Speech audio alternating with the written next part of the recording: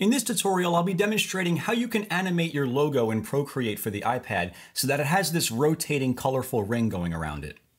Now the caveat here is that your logo will have to be a circle. So if it's not a circle, then place it in a circle and you'll be good to get started. So I'm gonna go back to my gallery and I'm going to open a new document and I'm gonna create a new square document.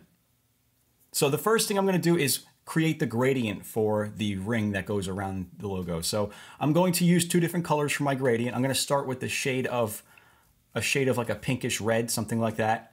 I'm going to fill that in there.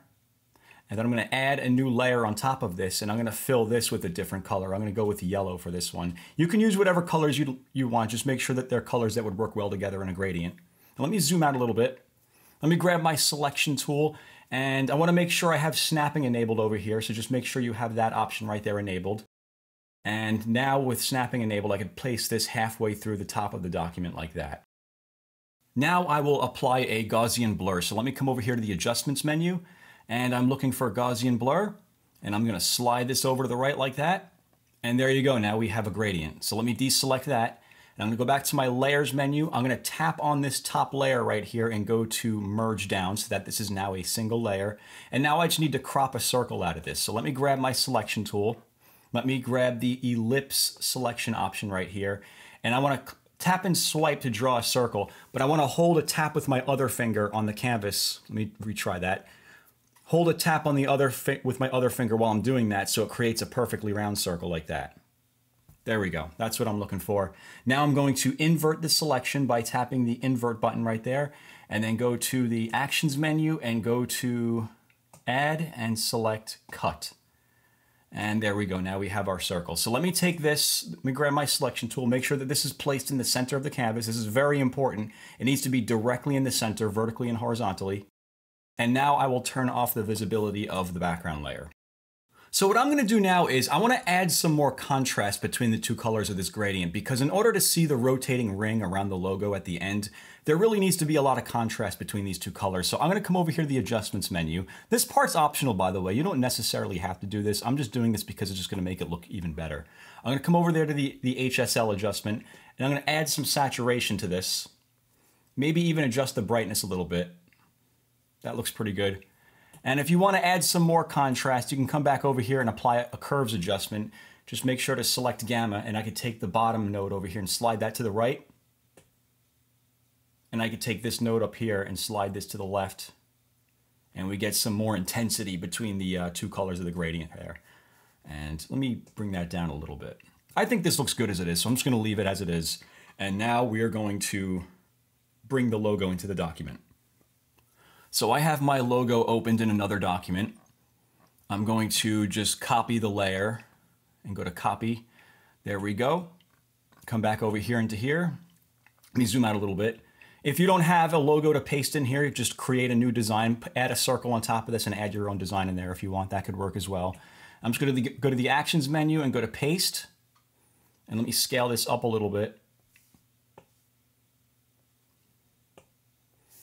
And there we go. And I want to place this, I want this directly in the canvas as well. Very important. It is super important that both of these circles are directly in the center of the canvas. If not, you're going to get this wonky where it's like offset as it rotates. Okay, so let me deselect that. Now what I'm going to do is I'm going to create a group of these two objects. So let's come over here to the layers menu and I'm going to swipe right on this so that I have both of these selected and I'll tap the group button over here so that now we have a group. So let me minimize this and the way we're going to animate this is we're going to create lots of copies of this group right here. And for each copy, we're going to rotate that circle in the background ever so slightly. And then when we export this as a GIF, it's going to use each layer as the frame of the animation. And to help assist this process, to help us visualize it better, we can turn on the animation assistant. So let me come over here to the actions menu.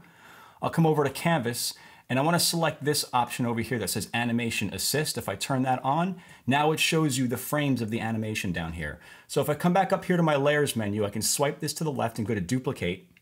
I can expand this group right here. I want to select the circle, come over here to the Selection tool, and I want to tap this green node right there. Just tap it once, and we're going to get this rotation box. I want to rotate this 15 degrees. And there we go. Now we can close out of it. And if I come, if I close out of this and come down here, you can see we now have two frames. And if I press the play button, you can see it's starting to oscillate between those two frames. But the way that we want to do this is we want this to rotate around the entire circle. So we're going to create we're going to create lots of copies of that layer and rotate each one ever so slightly. So let me just repeat that previous process. I'm going to open the layers menu. Let me collapse this group, slide it to the left, tap duplicate, and then expand it, select the circle, and again, we're going to rotate it by 15 degrees again. There we go. Let me do that again. I'm going to rotate the next one by 15 degrees.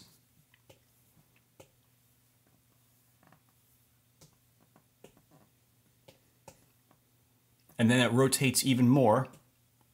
And all we have to do now is go through here and create a few more. We're going to repeat that process a few more times until we have a complete rotation going around uh, 360 degrees. Uh, a good way to tell how far you are is if you go to the layers menu and you expand the menu right here, you can see where exactly that gradient is positioned. So I'm going to create a bunch of more copies of this until the circle is rotated all the way back around, and then I'll catch up with you when I'm finished with that. So one thing to keep in mind when you're creating copies of these layers is that this animation is going to be repeated over and over again. So uh, once you've rotated the circle all the way around back to its original position, you don't actually want that one. So let me turn off the visibility of this one. We just want the we, we just want it one step before its final rotation. And now if I come down here and press play, let me try that again. There we go. Now you can see the animated ring going around the logo. And if you want to change the speed, you can come over here to settings. Let me zoom out a little bit while I do this so you can, so you can see it. And you can increase or decrease the frames per second. If I bring this up here, we have a really fast rotation. If I bring this down here, it gets a lot slower. So I've noticed for this animation, I think it was 25 I had it set to, or no, maybe it was 20. 20 seems to be good right there. And uh, if you want to export this as a usable file, what you could do now is, let me close out of this. Let me pause the animation here. You can come over here to your actions menu and go to share. And you can export this as an animated GIF if you want.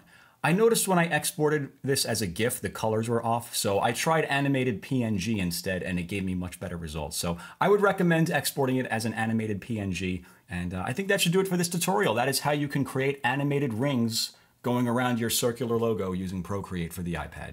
As always, thanks for watching.